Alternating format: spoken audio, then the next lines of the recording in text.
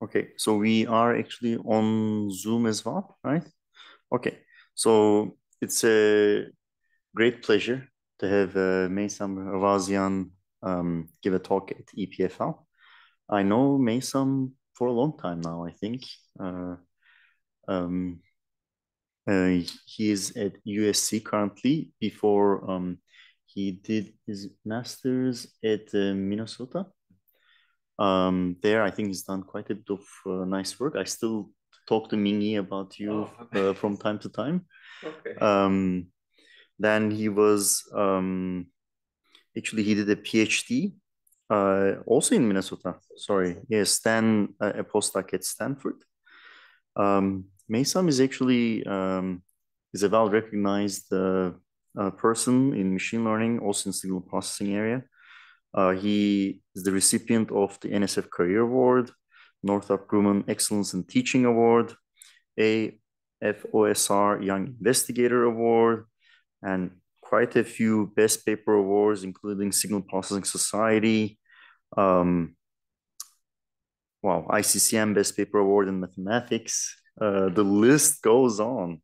And and I, I also did not know that you're a silver medalist in the math Olympiad. Uh, so his research interests include fundamental aspects of uh, optimization algorithms and how they connect to modern uh, data science problems. So um, we welcome Meisam to this CIS slash Lions uh, talk and looking forward to it.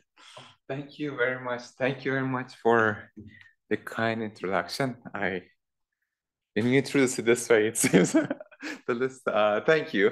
And thank you for the invitation. And thank you all for coming. So um, uh, I'm going to talk about a scalable stochastic optimization framework that we have for uh, robust and fair, uh, robust and private fair learning. This is a joint work with my student, my PhD student Sina, and Andy, who went for a postdoc uh, into University of uh, Wisconsin-Madison. Uh, Devansh, who was an undergraduate at IIT Delhi and now is a PhD student at USC. Rakesh, who was at USC and joined uh, UW, and Ahmad from Google Research. Uh, and at any point during the talk, please feel free to stop me and ask questions. Okay. So the roadmap of the talk would be this. So we start by motivating. I know most of you are familiar with. I'm going to have two slides on motivating fairness and privacy. Okay. And particularly how we need to do fairness through regularization and having a stochastic optimization framework for it. And then we are going to uh, talk about also the need for having robustness and essentially robust fair learning. Let's see some theoretical and some experiments to, during the talk. So let me start by talking about fairness in machine learning. So we all know that fairness is an important consideration that we all have to pay attention to when we train machine learning. If we ignore these uh, requirements, then we may get unfair models. There have there have been many uh, incidents uh, such as Google online advertising uh, engine that showed high income jobs more to men than women. There are documented incidences. Uh, there were also ads for arrest record shows up more for searches for distinctively black names. And there are a lot of uh, documented incidences, and there could be different reasons for unfair having an unfair model, ranging from historic biases in your data, imbalanced data, or any not correctly processing and collecting the data. It's not only ethical issue, but also it's regulation. Uh, we need to be careful because of regulations. So in US, there are regulations about employment, housing, and education. I'm pretty sure in EU as well. As you can see, EU AI Act. Um, in addition to fairness, another consideration that we should, pay, we should pay attention to is privacy. So privacy is a big concern of most of the people. For example, in US, six out of 10 US adults, they have concerns about privacy in modern age based on research, uh, uh, recent polls. Uh, and we know that just preventing data breaches is not enough. So If you just make sure that your data in some place and no one can attack your data, it's not enough. So there are many examples that if you have access, even if you have access to models, you can uh, violate the privacy of the data used during the training, uh, such as the documented incidents and GPT-2 uh, in this paper that they show that uh, that they show that if you uh, use an input uh, prompt for the model, then it may reveal some sensitive data that's been that has been in the training. Also in the uh, vision task, it's known that if you use model plus individual's name, we can recover some of the training data. And as I said, there are regulation guidelines and uh, regulations and guidelines as well, not only for fairness, for privacy as well. So, so in practice, when you want to deploy a model, we want to have privacy and fairness both at the same time. And that's actually a motivation of this talk. And what I want to do is there are you can develop different algorithms. What I want to hopefully want to achieve is have modular approach. So if you go through some of the fairness paper, you can see that they require sometimes end-to-end changes of the uh, of the pipeline. But some, but if you have something that we can easily implement in some parts of the algorithm uh, of the pipeline, training pipeline, that's a very desirable. And one, uh, so so, and what we are going to show is do is that we are going to add a regularizer, simple regularization that can be incorporated into backpropagation easily. And, uh, and it will help us, we'll see that it can help us to train private and fair models, okay? We can also handle situations like this, where your, uh, your, your company wants to train a fair model, but the sensitive attributes are in another data collected organization. So you may not even have a company or organization A may not even have the data. So you have a private communication medium between two. Or you can have situations like this that multiple companies train the model together. They want to make sure that's fair, but they don't want to share sensitive information. For example, they don't want to share the gender of the people, the race of the people this, this organization may have it, but the others may not have it but they want to train something together in short the train model at the end is private and fair. And so the, the train model at the end is, is, is fair and also private. You have a private communication medium. So none of the players in this training can infer the, the, the data that they are not supposed to know. So they are not going to be inferring the data of this organization, for example. And toward the end, I'll show that you can do some simple tweaks and some uh, changes to make the algorithm actually robust to distribution shift as well. So any questions so far? Okay. And uh, for those of you you're familiar with about fairness, I'm referring to group fairness. I'm going to define it uh, exactly. And the notion of privacy that we are using uh, is going to be differential privacy. So how many of you are familiar with group fairness notion? Okay. How many of you are familiar with differential privacy? Okay. All right, so I'll define it. So let's start with group fairness notions. So there are various group fairness notions. So let's consider a task that you want to predict, say a label. You have a true label Y, you have a predicted label Y hat, that's by your model, and you have a sensitive attributes, for example, gender. For example, let's say you train a model to look at the CV or resume of the individuals and see and decide whether you want to interview that person or not. It was actually an incident by an Amazon that they train a model and they figure out that actually the model gives lower score to female applicants than male applicants because of the story. I think it was because of the historic bias in their data. I don't know the re exact reason. Uh, so you want to make sure that your model treats different genders similar. So there are different ways and different notions depending on the application. For example, the demographic parity notion essentially says that your sensitive attribute should be statistically independent of your prediction. What it means that in my example, the gender of the individual, whether it's female or male, should be statistically independent of y hat. uh, white hat is whether you say that you want to interview that person or not. There are criticisms of that notion, and like depending on applications, you may consider different notions. For example, equality of opportunity, it just makes sure that your these two random variables are independent condition on whether you want to interview that. So condition on advantage group. So, but what is common, and there are many other notions as well, but what is common among many of these notions of fairness is that they require imposing some sort of conditional statistical independence. So in this talk, I'm going to talk about demographic, concept, demographic parity notion, okay? There is not condition. So your output, we want it to be independent, statistically independent of your sensitive attribute.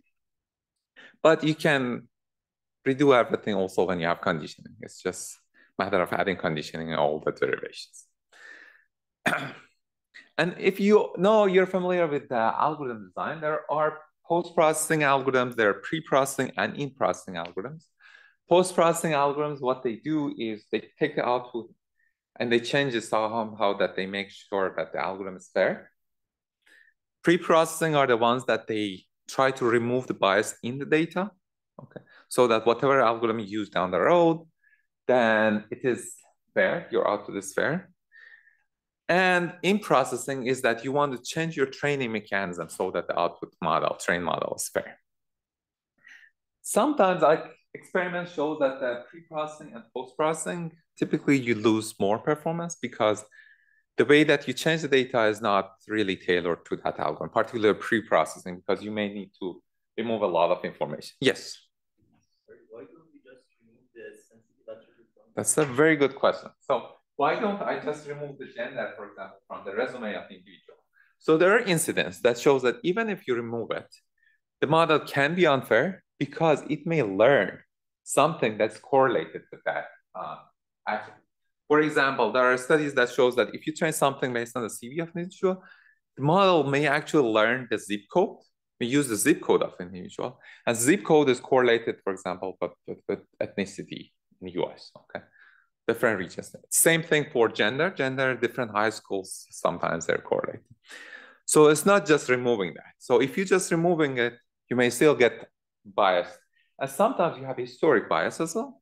Okay. Sometimes your data, you already have bias in your data. So if you want to remove it, you should be aware of that sensitive attribute. In extreme case, let me give you in my historic data, if I only have male applicants, like I said, told them that their CV is great, then the model may learn something that's correlated with male and that. So, okay, did I answer your question? Yeah. Okay, good. So we are going to focus on in-processing approaches because they they have less of a performance drop. And particularly many of the methods that they use in processing, they simply add a regularization. So the goal of this regularization is to impose fairness. Okay, you can think of it as this regularization, this R, measures, for example, if you want to uh, have demographic parity, that measures how correlated your y hat with S is, okay? But this is some sort of correlation measure, okay? Or statistical dependence measure. And there has been different works for different correlation measures. For example, people use Pearson correlation measure. They use mutual information or maximal correlation in the past. But what is, yes?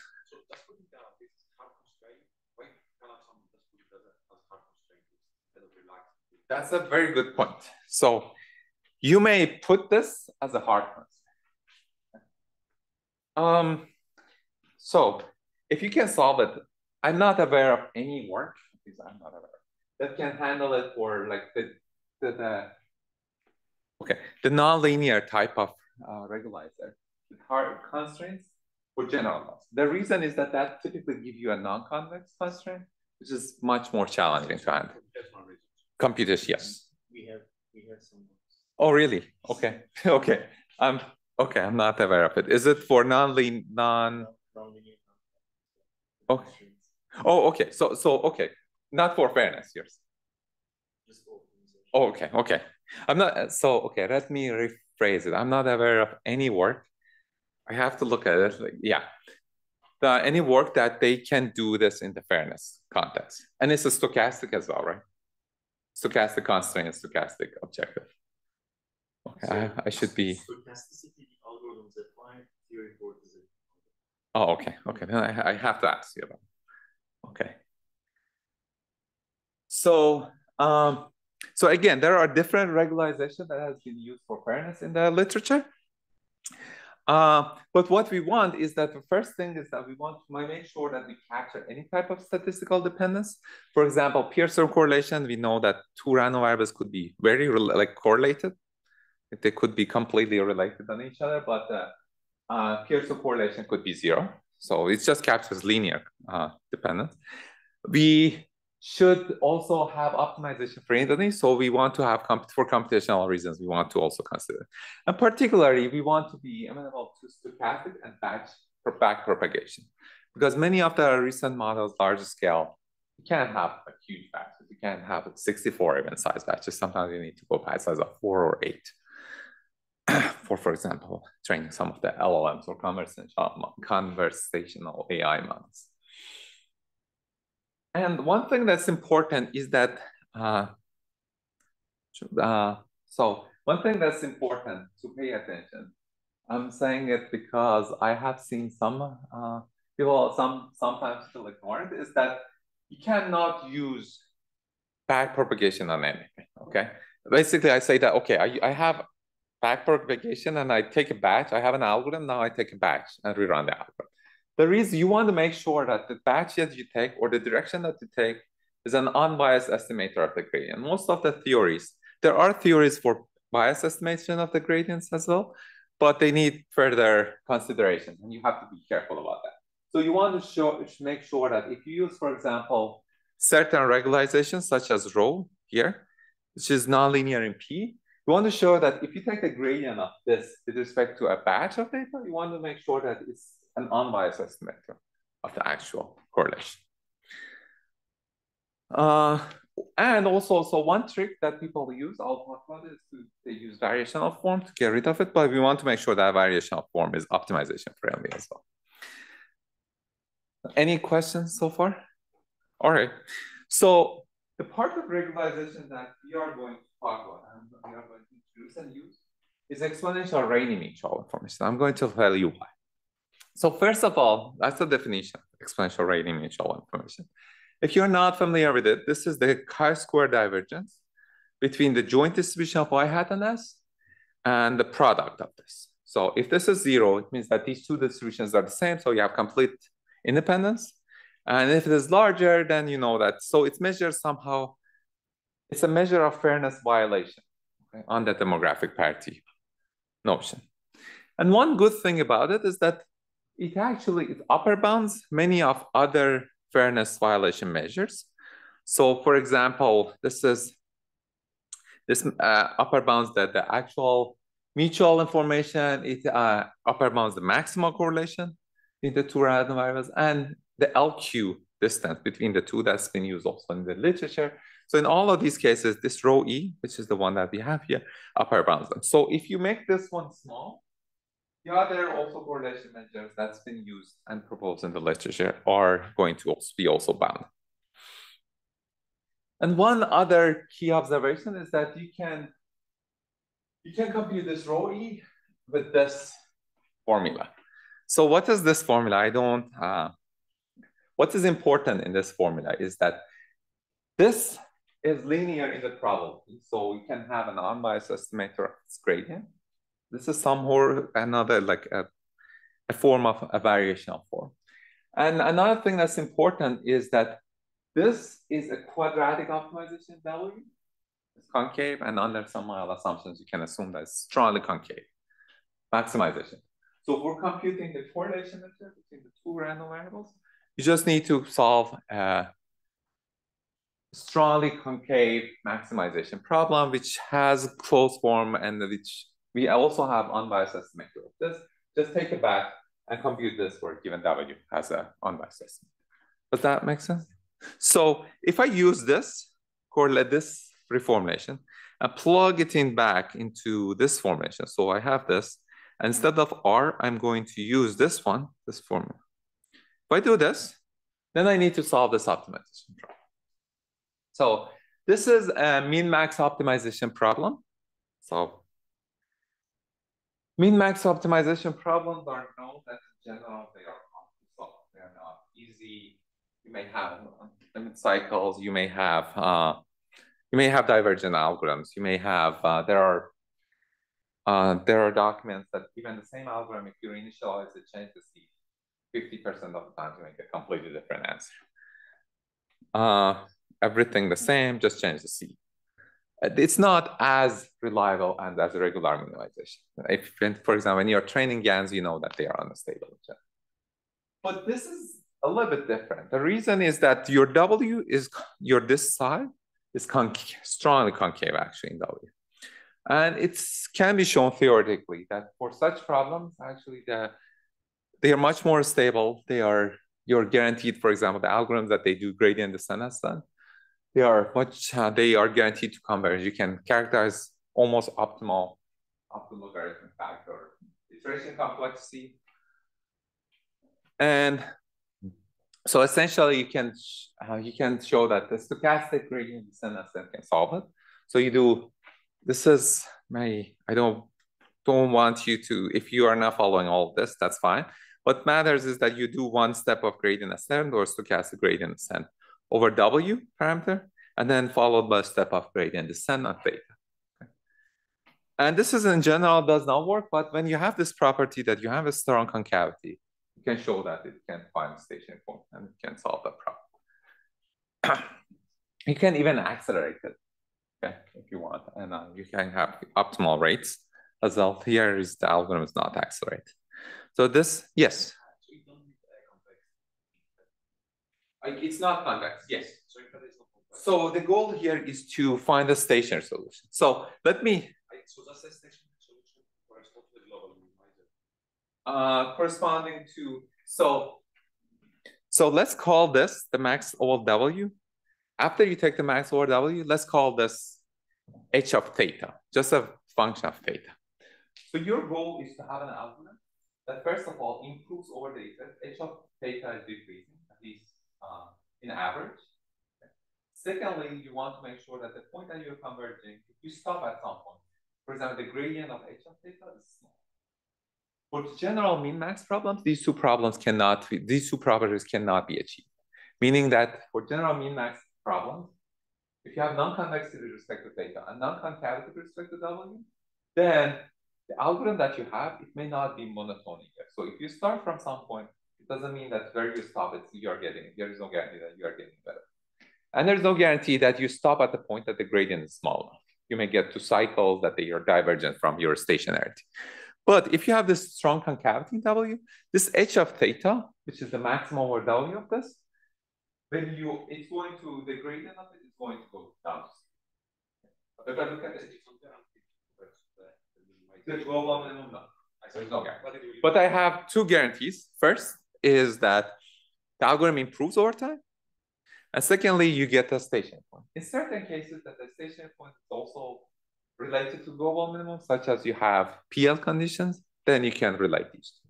Or if you have, yes. But there, there are additional things around the under the cup. So you don't assume non-smooth, non-convexity uh, in the original function. I yes, this is like I not have I do not have that theory. So you need to have Lipschitz smoothness with respect to both sides. Then when you strong concavity, is akin to taking the empirical discretization and somewhat smoothing it appropriately. Exactly. Right? Um, given the unique solution, you can always get so you can define the implicit function of uh, theta, which is this maximum form. So it's, a function given in this max form, where whenever you want to compute the gradient, and because we're doing optimization, Yes. Now, if that gradient is unique, right, that's, that's something. But uh, he needs to eliminate some of the, the technical issues by having reading of uh, pathological cases that would arise when you have non-convex and non-smooth mm -hmm. stuff. Yes. Yeah, exactly. yeah, this is very amenable Yes, uh, exactly. As you said. Uh, yeah, exactly. So the trick, as Volkan said, is that you look at that HF data, and if you think about it, you can, in principle, compute the gradient of HF data, which is you find, you use Danskin's theorem, you find the maximizer with respect to W, and then the gradient. You can a little bit play with it. You can make it non-sport with non-smoothness. Can like a little bit, you can extend it to that. There is a work with that, Dimitri Dima, uh, that he has uh, work at Utah that they and also this work talks a little bit about it. There's also a little bit where you can relax strong convex cavity a little bit and make it concave assumption. But the trick is again adding a small regularization to make it strong concave and then connect the two. So, but essentially the observation is what Volkan expect. And since we do one step of gradient descent, then you need to make sure that you control how much inexactness you in your gradient estimate of H. Yeah, yes.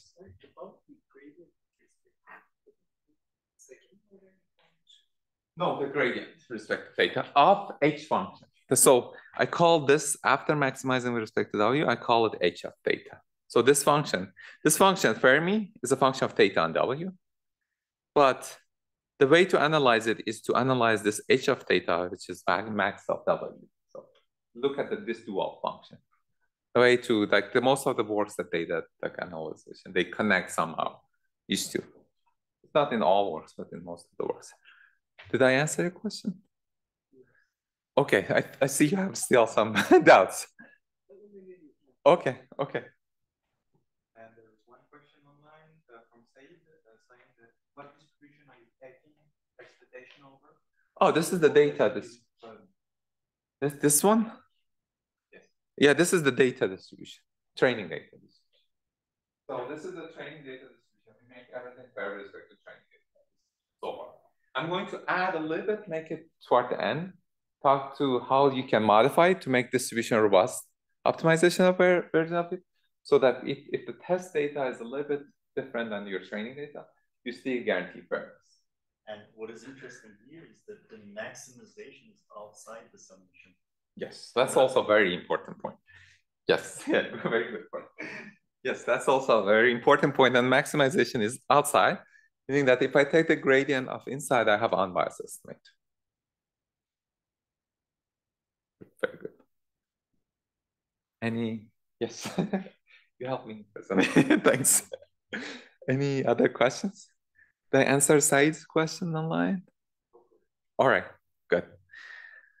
So this is so far everything. Good, so far so good. And you have an algorithm. To show you some experiments. And Actually, this is the paper that we published uh, a while ago, a couple of years ago, like maybe not a couple of years, maybe one, two years ago.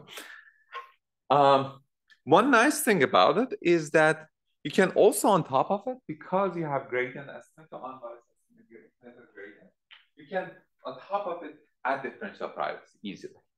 Okay. So I saw some of you are now familiar with differential privacy notion. So let me briefly uh, define the differential privacy notion. So as I said, just preventing data breaches is not enough. So we can rely on the notion of differential privacy to make sure that the trained model at the end of the day is private. So we say a model or a mechanism M in general is differential private. If when you apply M to the data of, let's say, n users, so I have n users here, apply M, this is your training algorithm, for example, and you get a trained model. This M is a randomized algorithm, so you have some randomness. So if I apply this and I get the trained model, first trained model, and if I apply it to another data set, which is similar to the first data set, except only the last and except only one of the entries is changed, okay? If you apply M again to that data set, you should still get a model that is essentially almost the same, the output. So meaning that including or excluding any particular individual should not change your output a lot. So if an adversary looks at your trained model at the end of the day, they cannot really say whether this individual, this particular data was in your data or not in your data. And mathematically, we need to satisfy this definition. So we say that an algorithm is epsilon delta differential private if it satisfies this for any subset for any measurable S subset and any two adjacent data sets X and X prime. So this is X, this is X prime. So if you want to understand it, think about it when epsilon is very small. So for example, when epsilon is zero, that says that you have, this should be less than or equal to this for any pair of X and X prime. Because I can switch this as well, that implies that you should have equality. In the extreme case, the probability of observing output is the same, no matter what input data you use. That's an ultimate privacy. If my output is always the same, no matter what data I use, that's ultimate privacy. No one can look at my output and say what training data I use. So, and one way to uh, enforce differential privacy or impose differential privacy is by add, simply adding noise to gradients. Uh, are you familiar with DP-SGD? How many of you? Okay. So, um, so let me briefly explain. So let me make a person example. So let's say I want to see what's the, do you guys, oh, you are a PhD student probably, so you don't take course. But let's say I want to know your average GPA of the students here, or like researchers here, okay? Of your undergraduate GPA, okay? So one way is that I can ask each one of you, tell me your GPA, I use my calculator, and take the average, okay? Sum them up divided by the number, and have that. But the problem is that some of you may not want to tell me your undergraduate GPA, and this is not a practical. A way to locally, at least, make a difference of product is that you can you can have your GPA in mind, but add a Gaussian noise. So let's say your GPA is 3.5. What's the GPA system here? Out of six. Out of six? Okay. Well, 3.5 is good. So let's say you have GPA 3.5. It's feasible. Yeah. Okay. Let's say your GPA is 5.1, is it? So, okay, 5.1. Your GPA is 5.1. And you want to tell it to me. I'm saying, no, don't tell it to me. Generate a Gaussian random noise. Let's say you generate a Gaussian. Your Gaussian is minus 1. You add it to your GPA and you tell me that number, which is 4.1. This way, you just tell me after adding noise. I don't know the exact GPA of each one of you. But when I take the average of all, then the Gaussian, because of law of Larman, they almost cancel each other. So I almost get an accurate estimate. This is an example of at least making things locally for each of you, differential apart. I can use same idea for make training neural. It's called DP-SGD. So essentially at each step of taking gradient, you can add Gaussian noise to it, still makes the direction unbiased, but it's not exact. So you can quantify this over all the iterations. You can make sure that your algorithm, at the end of the day, your final solution that you are returning satisfies this with particular epsilon delta.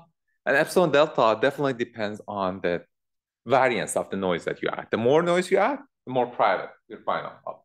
Yes? Yes. So why did you add the noise to the gradient and not to the data before? Oh, that's a very good point. So you can do differential privacy different ways. Okay, one is you can add it to your data, your X. So Another way is that you can make add noise to your output, which is M of X. So you train the model, a neural network, for example. You add noise to the weights of the neural network at that. And the other one is that I do it during training, like what I said. You can actually show that theoretically, um, you can show that empirically the one that you add to the gradient it works much better. Okay, you can show actually theoretically that that's also the for example, convex cases, you need to add to the, you can, you need to add to the gradient or there's another approach that I can add noise to the loss function, but it requires uh, some payment paying in computational complexity. So in practice, the most, uh, the one that gives you the best trade-off because you don't want to run the algorithm too much. Okay? If I run the algorithm for a long time, although I have noise, but when you see something noisy multiple times, let's say I inquire your GPA 10,000 times and you add noise to it, but since I'm adding noise, I can take the average, I know your exact. So I have to make sure that I'm not revisiting every data point also a lot, depending on the noise that I have. So, so because of that limitation, you typically pay when you want to have differential privacy. Your performance is not as good as non-private model because the noise version.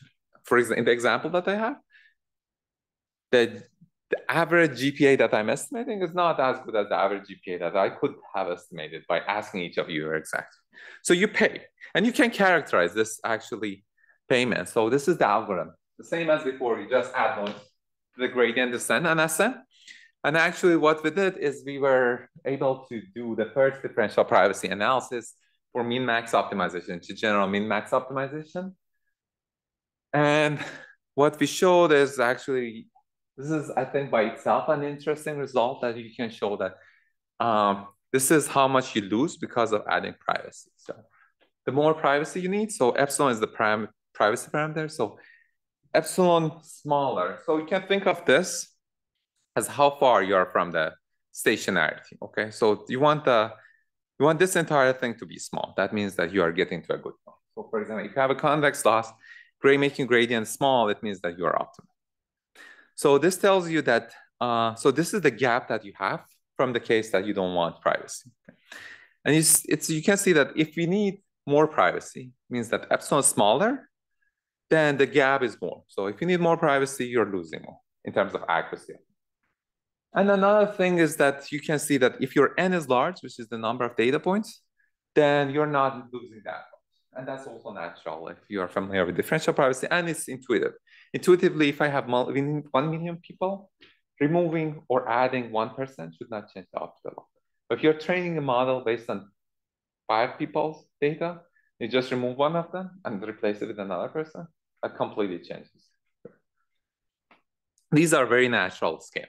Um, you can tell there are objective as well toward our particular objective, although this analysis is general. Um, let me make a small comment that I don't believe that this is optimal rate, but a theoretical optimal rate, but it gives you actually, actually a trade-off, so it's an upper. So still the optimal rate I, is, is open. It's open and it's not. So let me give you some, so I'm going to talk a little bit later how to add robustness to this. But before that, I want to show you some experiments. So you see that the things that I talked about, uh, you can see them also in practice uh, when you implement. So the first thing is that you can see that, so in this plot, we plotted the, let's say the fairness violation or the test error. So the x-axis, x-axis is how much test error you get. And the y-axis is demographic violation. So to the smaller, if you are to the lower left corner, it means that you have a better model. So lower, it means more fair. And to the left, it means that you have more accurate. So we want to be in this direction. And how do I get this trade-off? Remember, in the algorithm that I have, I had a regularized, right, lambda.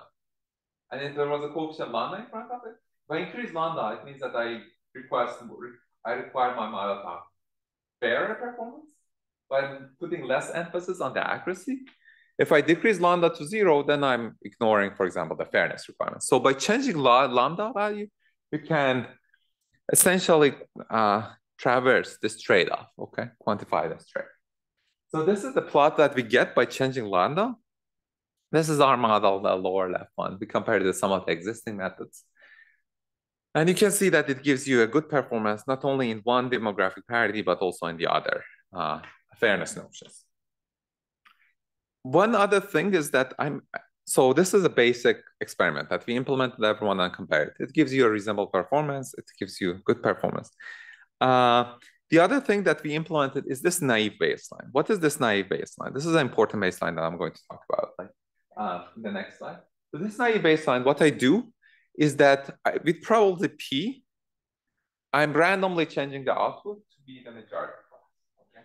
The example that I had, uh, looking at this resume of the individuals and deciding whether I want to interview or not. Let's say you want to not interview 75% of Okay, the true label should be 75% not infinite. Okay. So a completely fair model is that I always say that do not interview anyone. Okay, that's a very fair model. Like the output is the same whether you're female, male, whatever ethnicity. Uh, people. So by changing this, so I can look at my output, flipping a coin with probability P, I say I don't interview that. And by changing P, I can get this trade-off. So this is a very naive baseline. I have the train model unfair, but I make it fairer by changing this P. This is naive baseline, and you can see that it's worse than almost all existing algorithms in the literature.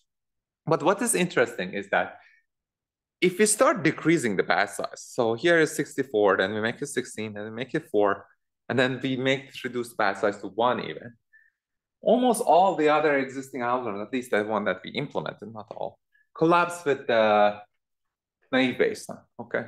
And that's because they were not developed for stochastic when you have small batches. That's reasonable because the essential estimate, many of them, some of them at least, they estimate the fairness based on whether based on the batch of data. Okay.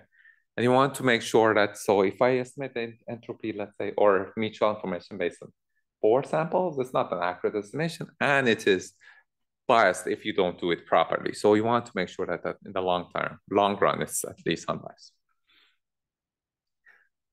You can also implement it on other tasks, more complex tasks. For example, here is for YouTube uh, comments, whether they are, uh, you want to decide whether they are offensive or not, okay? You want to make sure that they are fair against different uh, religions, okay? Whether they're toxic or not. Uh, and as the batch size decreases, again, we saw the same thing. So this, actually, this was, this is a very good, and nice paper, uh, like the Prost et al that they, as they do maximum correlation type. Uh, or actually, they do MMD type regularization, not maximum correlation, MMD type regularization. But it turns out that if you do proper stochastic optimization, you can get, you cannot reasonably get a good performance also when you decrease the stresses. And you can make it private as well. So as I said, you just add noise but this is for the one that we implemented this scenario. And, and this is the this is the non-private version. So this is the non-private version. It's the same for all plots. So we start from small epsilon, means that meaning that we need a lot of privacy. Start relaxing epsilon and making less private. So this one is less private than the first one. And you can see that this orange line is getting closer and closer to the green line. It means that as you increase epsilon, as you say that privacy doesn't matter for me, then the performance of the algorithm they are colliding, which is what we are expecting. And it's better than some of the non-gradient based methods that exists in the literature. Uh, another observation that I mentioned is that uh, if you have more and larger number of data sets, then this is actually for a larger n. I don't have the n sample. You can see that these are colliding with each other. So you can get actual privacy for almost free. So that is for free, but it's at least empirically, the private version and non-private version can perform similarly when you have a large number of samples, which is meaning, which is what we expect. How much time do I have? Um, we go. Five okay, five, five minutes. Okay. So let me quickly tell you that you can add also robustness on top of this. So I would love to see your actual paper because you're interested in solving this, problems like this. Uh, if I see your paper having. So essentially you want to minimize the loss. You may have some uncertainty or you may not have. Even if you don't have uncertainty or you don't want to care about your accuracy a lot, do not robustify it, that's fine. But you want to make sure that you satisfy your fairness requirement, even when your input distribution changes. And this is important. It, it happens in practice. There is there are papers that, for example, show that the models that they train based on the data of one hospital and they were fair. When they went and deployed in another hospital data, they become unfair. And that makes sense because your distribution or demographics of the people that you're trying your algorithm on, it changes. So the distribution changes, so the fairness requirements depends on the distribution. And when the distribution changes, you don't have also fairness. Your fairness might not be as good as what you are expecting.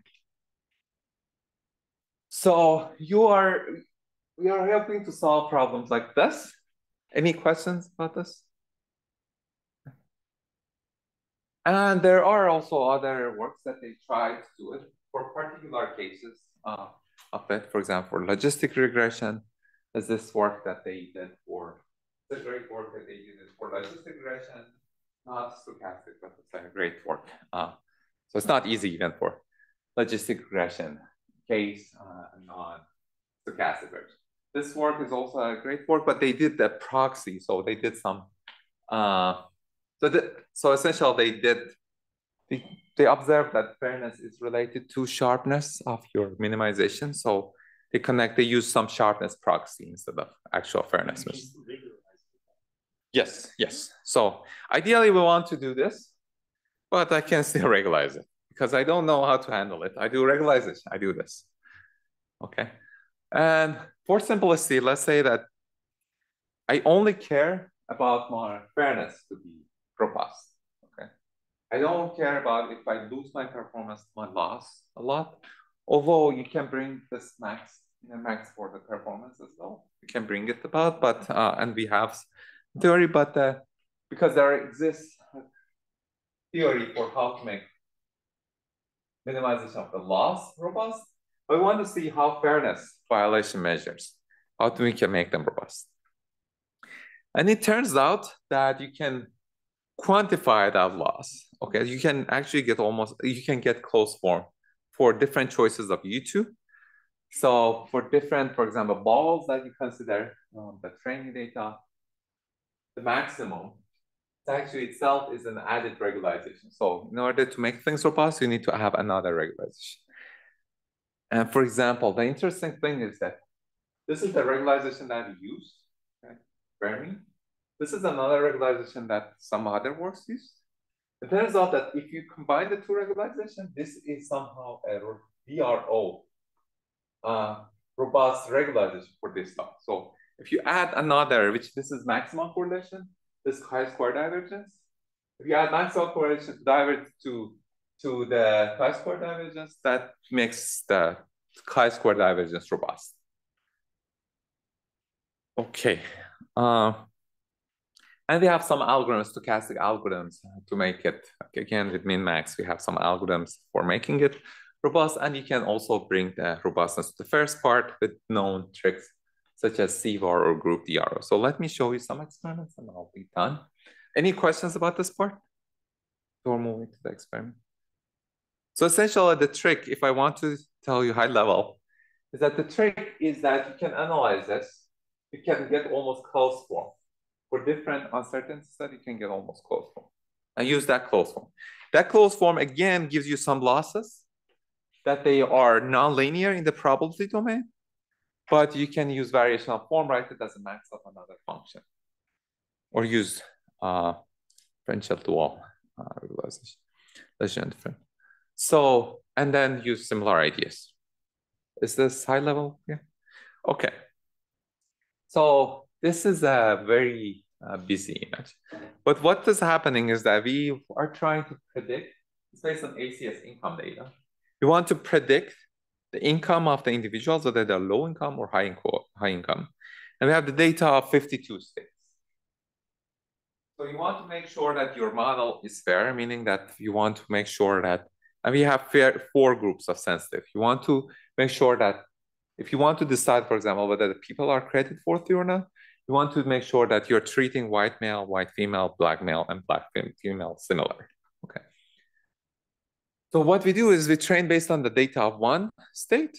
This is a census data, US census data, and try it in another state. Okay, this is a natural distribution shift. So the status that gives you a natural distribution shift. That's uh, proposed in this actual work. This, is a very nice one.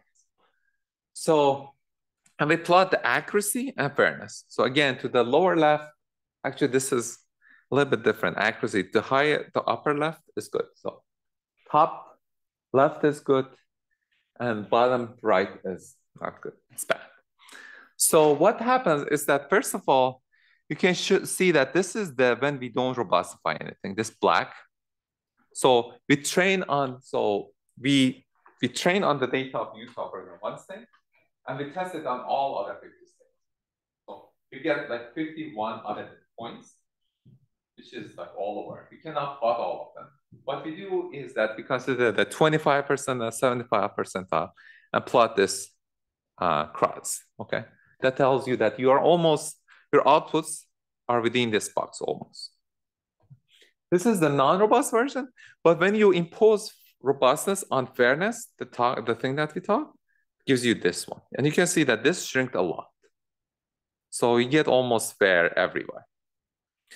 But we haven't like in this one, we haven't yet imposed robustness on the accuracy. You can impose robustness on accuracy as well. And that gives you this, this one, this gray one, which is higher actually, and the changes are small.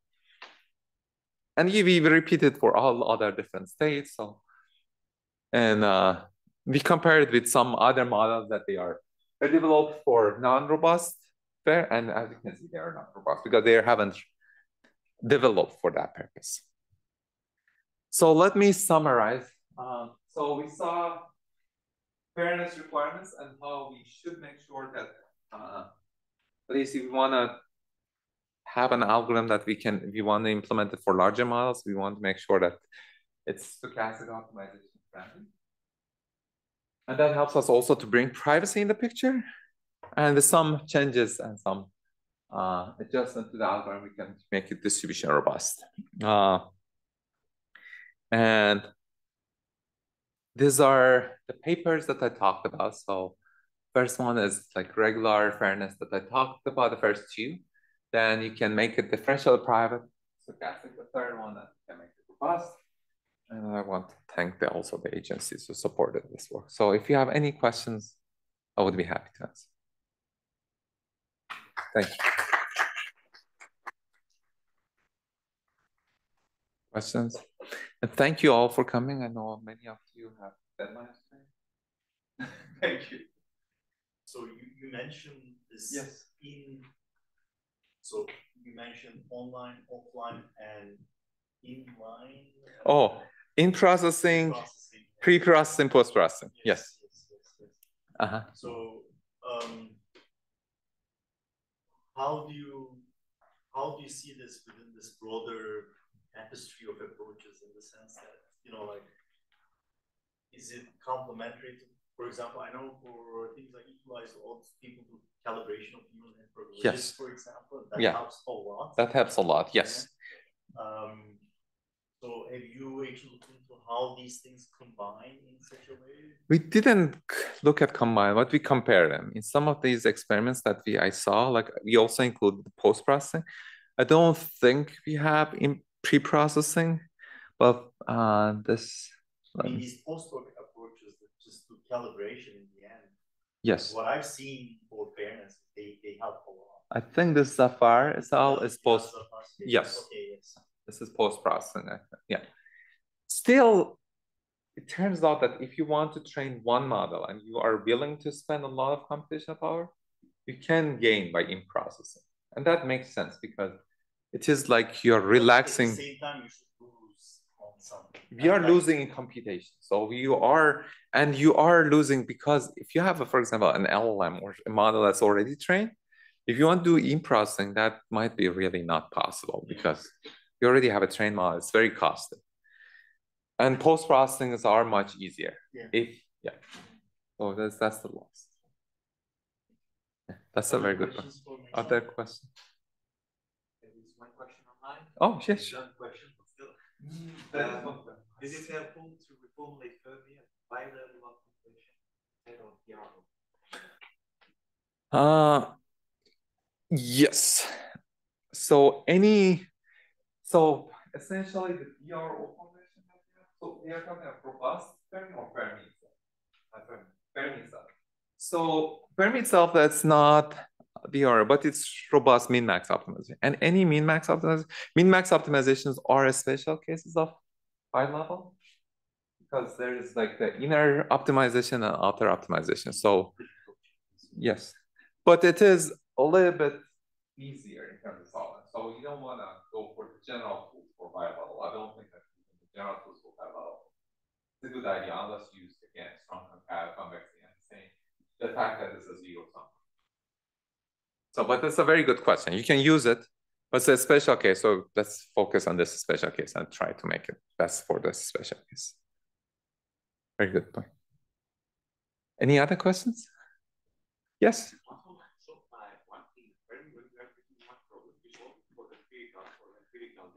Mm-hmm. Is there kind of?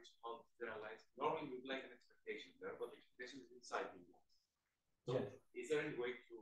We actually have also a generalization analysis. I didn't include it, but it's typical one over squared through t- n time. So you can transfer. Yeah, you can transfer it.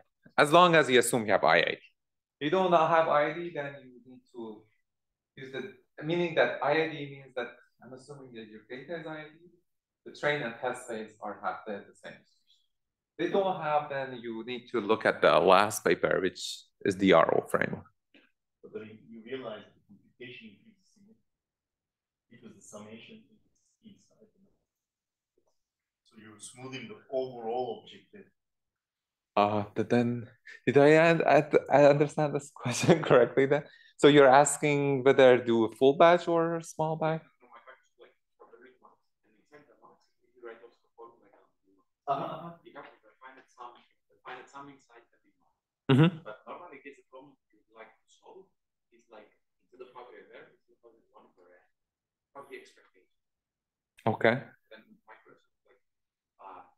solve with them, I Ah. Okay. How does it transfer to the general population? Uh, yes. So, so okay. So if you replace it with expectation, you have uh, like a result connecting the two, the gradient norm, connecting the gradient norms, bounding them. As uh, Volkan said, but you have to work with the smoothness thing because that in general may not be smooth although in this case. You have that dual functions because of strong concavity assumption. And we assume that our loss, actually our analysis assume the loss is also smooth. So F is smooth. We assume it's. Although you may have. That's a typical assumption, but you have rarely use another thing. to- All right, let's thank Meisam again. Thank you all again for coming. Oh, no, thank you for coming.